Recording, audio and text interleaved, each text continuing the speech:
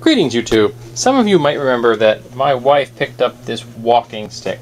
It's made out of a golf club and they have this tube down here and a red tip. I'm getting the feeling that this tube and tip came together somehow because they fit each other really well and this is an unusual shape. It really looks like to me like some kind of industrial packing protection but I'm not positive. And they used a piece of shrink wrap here to, uh, heavy duty shrink wrap there to, to fuse the joint. And down here on the end where the handle is, um, uh, they have a custom made ball. It's actually got marks on it where the, the uh, grip, the, the chuck held it while it was being um, worked. I don't have a lathe, so I can't make that kind of a knob. So I'm going to see if I can find something that's this size um, that'll fit over this. Uh, but I got myself a golf club. And the golf club, I felt almost feel bad because after I brought it home, it's a left-handed golf club, and I picked up it for three bucks.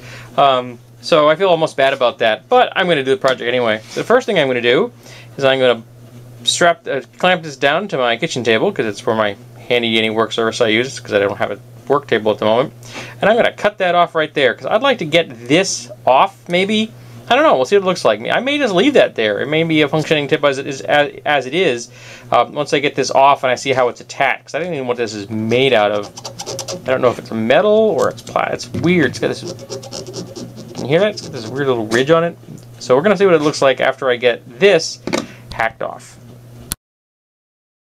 So here we all are, all clamped on the table in the position I want it to be in when I start uh, sawing. And you get to see my spiffy pillow. This actually was a gift from my wife. It's a handmade embroidered pillow that I use all the time. Uh, so this is a awesome adjustable bench, uh, stool rather. We call it the stool of science because it came out of a science lab from my wife's um, college. Uh, she bought it at a yard sale they were having for like a dollar. Um, but it's a little rough. It's a little flat and hard, so I use a pillow. Um, so now next up, cut the head off. Well, there you have it one severed golf club head. Fortunately, the saw blade I had on my hacksaw was just not cutting it, literally. So I had to go out and buy another saw blade. That's okay. I stopped at a thrift shop, got myself a new t-shirt. Um, but we end up with this. And there's a slight burr on this edge, but frankly, this is a walking stick that I'm making here.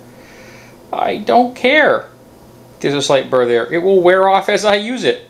And if I decide at some future date I don't like this collar thing, whichever the heck it is, I will remove it. But at the moment, I think it gives it a nice footprint. And uh, if I feel the need at some point in the future to put something in the middle, say a double point, if I want to have a, a double-ended uh, wood screw, so I can have some uh, purchase if I plan on going someplace with a lot of rocks, I can do that um, that hole affords me that option. And uh, so I end up with two new saw blades, which is not a bad thing, they're wicked cheap, um, and uh, a severed head. Don't know what I'm going to do with this. I don't know. Do something with it, I guess. Make some art out of it or something. I don't know. We'll figure it out. Um, maybe give it to a golfer. Who knows? Had a left-handed golfer and go, hey, he's here. I destroyed a golf club. Um, so one more step, I think, and then we're done.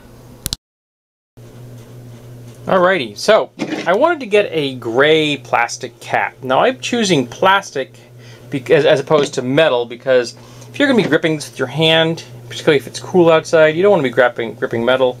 And metal would not be a very large grip. It's a pretty good sized grip.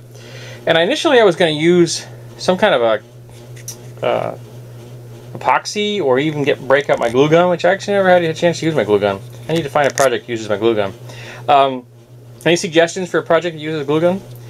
But this has got threads in it. So, I think I'm just going to thread this on there and see how it looks. Because that means at some point in the future, if I find a better grip, a wooden one or something a little more flare, I can use it. So, next up, put this on. So there we go.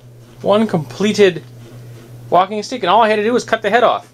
And one advantage of this thing, doesn't roll, whereas this one rolls real easy. It's for the reason the clamp is on the table, because I keep it from rolling off while I'm doing this video.